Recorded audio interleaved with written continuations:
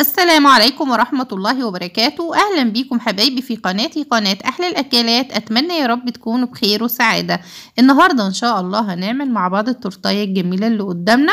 هنعملها مع بعض بالتفصيل هنعملها بإذن الله بطريقة سهلة. إن شاء الله هتعجبكم. أول حاجة طبعا أنا عملت التورتاية. عملتها في صينية مقاس 24 وهسيب لكم المقادير بتاعها في صندوق الوصف أسفل الفيديو. وجلستها وحشيتها طبعا قسمتها لرقات وحشيتها بالكريم شانتيه.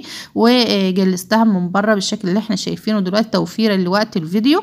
وبدأت أرسم قوس كده اهوت نص هلال على الجنب بتاع التورتاية.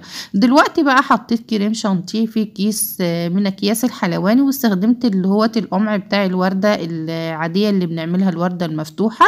وببدأ أعمل خطوط تقريبا مسافة بين خط والتاني يعتبر خط كمان في الوسط.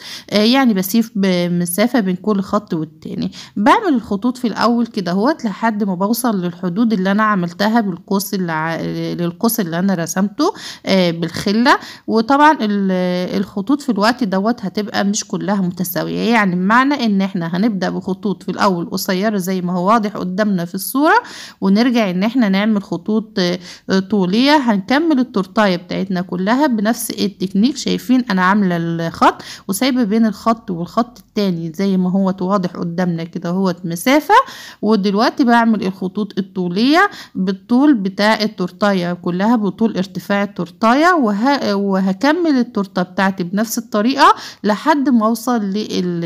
اللي هو ال... بداية القوس اللي أنا كنت رسماه وهرجع أعمل الخطوط أقصر فأقصر لحد ما أوصل للي هو المنتصف بتاع القوس واغلف التورتاية بتاعتي كلها بنفس الطريقة وبنفس التكنيك.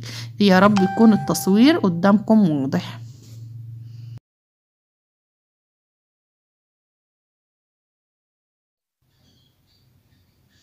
وزي ما إحنا شايفين كده اهوت خلصت التورتة اللي عندي آه خلصت الكيكة كلها بنفس الطريقة اللي أنا قلت عليها. طبعا آه الشكل يعني يعتبر نوعا ما بدأ إن هو يوضح. عملت الخطوط طبعا شايفين في الأول كانت خطوط قصيرة وفضلت أرتفع بيها وكملتها داير ما يدور التورتايه لحد ما خلصت التورتة اللي عندي كلها. دلوقتي بقى هبدأ إن أنا أعمل برضو بنفس القمع اللي أنا استخدمته وردات برضو داير ما يدور حوالين التورتايه وردات البسيطة جدا اللي إحنا بنشتغل هشتغلها آه زي ما إحنا شايفين قدامنا كده اهوت هلف حوالين التورتاية بتاعتي كلها بنفس الطريقة. طبعا الوردات دي بسيطة جدا مش محتاجة مننا أي مجهود أو أي حرفة.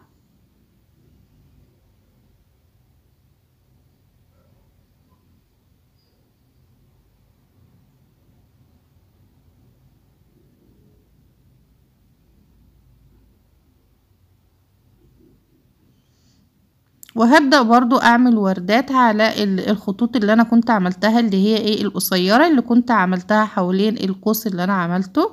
شايفين يعني ببدأ أنزل كده هو على كل الخطوط كل خط بعمل فوق يعني فوقيه تقريبا إيه وردة. شايفين الشكل عندنا هو بقى جميل وبدأ إن هو يظهر عندي.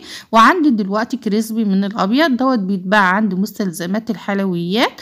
آه بتشتريه فيه ألوان كتير وفيه كمان أحجام كتير منه. آه أنا اخترت اللون الأبيض علشان يمشي مع اللون اللي هو اللون الكريمة الأحمر اللي إحنا مستخدمينه في التورتاية. وبدأت أوزع الكريسبي زي ما إحنا شايفين كده أهوت على كل الوردات اللي أنا عملتهم على التورتاية. وزي ما إحنا شايفين في الصورة كمان بدأت إن أنا أوزع بين كل خط والتاني. عملت برضو خط من الكريسبي الأبيض. طبعا اداني منظر جميل جدا. ودلوقتي بدأت أعمل الورود اللي أنا هشتغلها على السطح بتاعت التورتاية. وزي ما اتكلمت قبل كده معاكم على موضوع الورد آه إن أنا بحب أعمل الورد على ورق زبدة وأحب أدخلها التلاجة تمسك نفسها أو ممكن أدخلها الفريزر تمسك نفسها شوية وعلشان أعرف إن أنا إيه بقى أنقلها على التورتايه ببساطة ودي طريقة سهلة جدا وبالذات للناس المحترفين. بدأت أحط كده هو جزء بسيط من الكريمة علشان أرفع بيه الوردة وبدأت إن أنا أحط الوردات اللي عندي. أنا اشتغلت ثلاث وردات شايفين بحط الأول كده هو جزء من الكريم شانتيه على التورتايه وببدا أشيل الوردة بتاعتي بالشوكة وأبدأ أحطها على التورتايه بكل بساطة وبكل سهولة. ودلوقتي عندي كريمة حطيتها كده أهوت في كيس الحلواني وحطيت اللي هو القمع بتاع ورق الشجر واستخدمت عليها سنة من اللون الأخضر وبدأت أعمل ورود حوالين الوردة اللي عندي. بدأت أعمل ورق الشجر ورق الورد.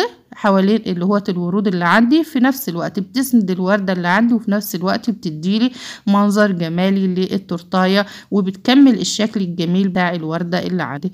زي ما إحنا شايفين بدأت كده اهوت أوزع ورق الشجر. آه الألوان اللي أنا مستخدماها دي ألوان جل وطبعا درجة اللون بتتحكمي فيها على حسب ما انت حابة.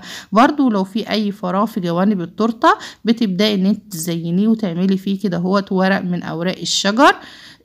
القمع ده طبعا آه اللي إحنا بنستخدمينه بصراحة ده صيني فملهوش إيه مقاس يعني معين فيعني آه لو انت عايزة تكبري الورقة أو عايزة تصغريها على حسب الضغطة اللي انت بتضغطي على الكيس اللي انت بتستخدميه.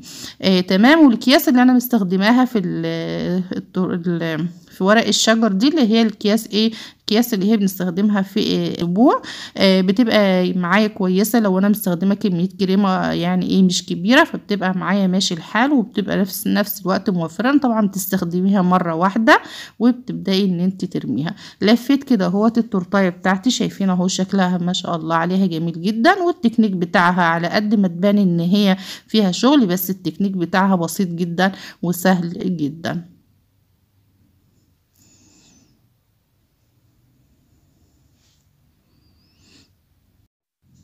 ودلوقتي هاخد برضو ال crispy وطبعا التزيين دايما في الأول وفي الآخر بيرجع لك على حسب ما انت حابة وعلى حسب ذوقك. وهبدأ أنزل كده اهوت بالكريسبي باخده برضو داير ما يدور عايز أنا اللي هو إيه أوضح القوس أكتر أو أبين القوس بتاعي أكتر وفي نفس الوقت أدي شكل جمالي أكتر للتورتاية بتاعتي. بدأت إن أنا أوزع كده اهوت الكريسبي برضو الأبيض.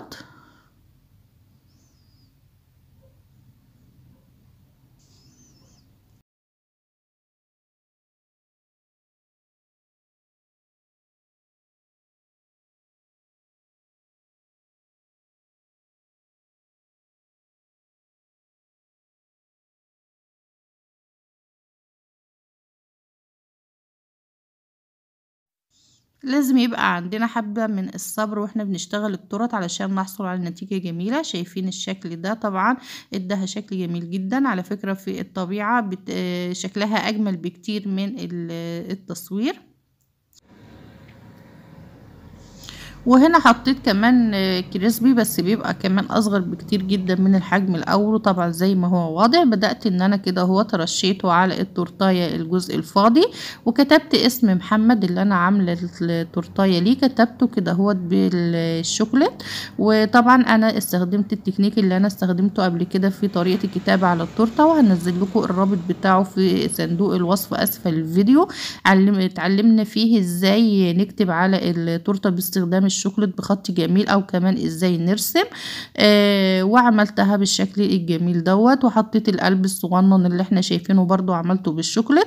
الطريقة سهلة جدا جدا والنتيجة كمان بالنسبة لي مرضية آه وشكلها جميل جدا. وبرضو عملت كمان من نفس بنفس التكنيك وبنفس الفكرة برضو نفس التورتاية دي برضو بس طبعا غيرت في اللون بتاع الأرضية بدل ما نفس اللون كنت مستخدماه غيرت كمان في لون الأرضية ودي كانت وصفتي النهاردة ودي كانت التورتاية البسيطة اللي أنا عملتها معاكم. أتمنى إن هي تعجبكم ولو عجبكم الفيديو ما تنسوش تعملوا لي اشتراك في القناة واعملوا لي like و share وإلى اللقاء في فيديوهات تانية إن شاء الله.